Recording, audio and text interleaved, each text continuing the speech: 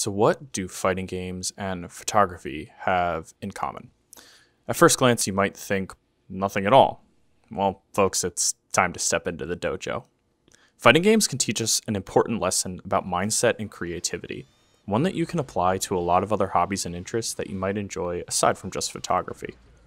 This lesson being that the goal is not to win, but to improve. Since its release in early summer of 2021, Guilty Gear Strive has been the game that has taken up the majority of my attention. I dabbled in some early Guilty Gear titles, but never went beyond fighting the computer in arcade mode. The idea of the skill gap between my beginner self and a seasoned online fighter aficionados was an intimidating mountain to climb.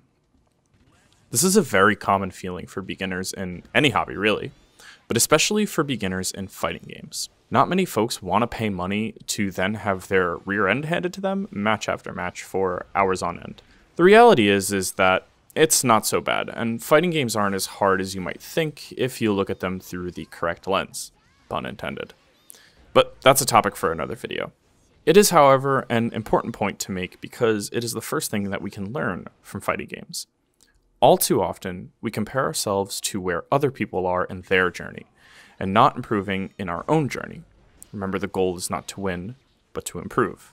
We cannot improve when we focus on what other characters can do or what level of skill the other players are that can use them. Most would consider this level of thinking the scrub mentality, constantly blaming outside factors instead of relying on your own improvement, or lack thereof, as to why you have yet to get good. In photography, it's just as easy to become discouraged by scrolling an Instagram feed as it is to be inspired wishing we could make work of the same quality that the algorithm feeds us, and sometimes it's really hard to accept that.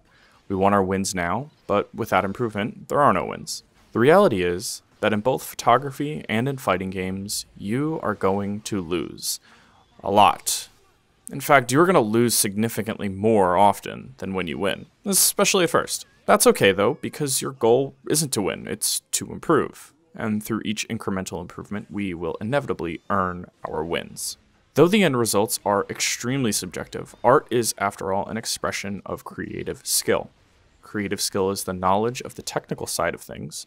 It's framing, the exposure triangle, editing, and timing. And expression is how you use those skills to tell your creative story. In a fighting game, it's the same concept. Your creative skills are your combos, your knowledge of frame data and matchups, and your ability to execute your game plan. Through these tools, a proficient competitor will find victory through their expression. It's a very unique thing to face two different people using the same character. No one really fights the exact same way, even at beginner levels. Expression exists as part of the natural way that we learn. Leaning towards tools that fit our playstyle in each different situation molds our player expression, and it is molded by our learning process as we discover new abilities and techniques. By recognizing that in both photography and learning fighting games, we must develop a robust understanding of techniques, we are able to view our losses in a more positive and productive manner. Sure, that shot you took didn't work out. Maybe there's something there. Maybe you took a shot at a practical application of a technique and just fell a little short. It's not all bad, not all is lost. The newfound knowledge is worth the experience. The same goes for fighting games. Sure, that match didn't go your way, but maybe you earned a good interaction after playing better neutral or you cleverly blocked a mix up this time that normally would have caught you off guard. These little wins, the constant improvements, are the things that lead us to the real big wins in great photos and victory over a tough opponent. Despite the apparent differences, I like using fighting games as an example to draw parallels from. Improvement in both photography and fighting games is so tangible. Fighting games doubly so because of how instantaneous the feedback is. Obviously, with digital photography, there is instant feedback, but not in the same way. Sure, you get your results back as they happen, but it's not like your camera can tell you how to make a photo better. And if you missed a moment, then that's it. There's really no replicating it, and it's gone for good.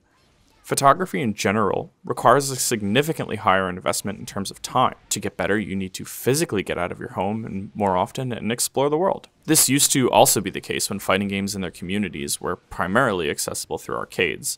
The tangibility in fighting game improvement, however, is so instantaneous. The average match lasts about 1 to 3 minutes depending on the game, and the results speak for themselves. It's win versus losses. The more you improve, the more you see that you will win, and the more that you win, the higher up in the ranks that you go. Sure, like a digital camera, the game does not tell you what you can do better. You will have to rely on a strategy of self-critical review for that. But the only room for subjective victory is within your mindset. Objectively, the game goes one of two ways. Another big difference is that fighting games are competitive. You're facing off against someone else. Unless you're entering in some sort of competition, photography is purely a journey of self improvement. As I previously mentioned, our goal here is to focus on improvement and not wins. The playing field between the two things becomes level when we stop concerning ourselves with what others are doing and focus on our own improvement. The reality is that creativity is a lifelong journey. Self improvement is a lifelong journey. They are one and the same, except that you're probably not going to be a superstar from the get go, except that this is going to take some time, except that you are going to lose and also have fun along the way. Sure, frustrations and discouraging moments will happen, but they only get to us when we are focused on winning and not improving. When we switch up our mindset and believe in our ability to improve over all else, the end goal becomes trivial. Think honestly with yourself. With whatever creative or competitive thing that you like, what is the end goal? Is it to be good at that thing? Or the best, maybe? Or just to get better? For most of us, it's kind of hard to define. Being the absolute best at something is a pretty lofty and unrealistic goal. Personally, letting go of the idea of an end goal in my creative pursuits has been incredibly freeing. Not being concerned with what I have not or will not be able to achieve allows me to put much more energy towards my success. Understanding that I am not just going to fire up Guilty Gear, play at a tournament level, means that I can just enjoy my time working towards Celestial and appreciating the improvements along the way. The journey has to be more rewarding, or else for me, and for most people, the game wouldn't be worth playing. With photography, it has allowed me to mentally categorize my work into different purposes. There's the basic stuff, the everyday snaps, the photos I'll take at a friend's birthday, or the shot of a pretty flower in bloom with the sun hitting it just right. It's not the stuff that makes waves for me, but it's a necessary part of the process. Like labbing a combo string in training mode, it's the supplementary practice needed to experiment and improve. It gets me used to searching for good light, seeing simple things that are being framed up perfectly in my everyday life so that even when I don't have a camera on hand, I'm staying sharp. The other half is the performance, the actual one on one. It's the work that makes the time in training mode worth it. I've challenged myself to see more serious work in a project based manner, shooting bodies of work focused on a subject or an idea, and then compiling that work into books, prints, or photo essays. It's freed up my creative bandwidth to think more long term and not to worry about the temptation of photos that don't fit the specific subject. In a way, it's been as important to ignore what I shouldn't be doing as it has been to focus on what I should be doing. Even then, another fighting game parallel is drawn. It's playing great neutral and executing a game plan versus landing a flashy combo. To me, when it comes to improvement in any skill, the most important thing is mindset. It's very easy to apply this way to thinking to other things that you're into. I find that I can replace fighting games entirely with something like going to the gym. And the ideas about putting yourself on a path of gradual improvement over time keeps you much more sustainably motivated. Of course, it goes without saying that setting goals is a very necessary part of any journey of improvement, and that you should give yourself targets to hit to stay motivated.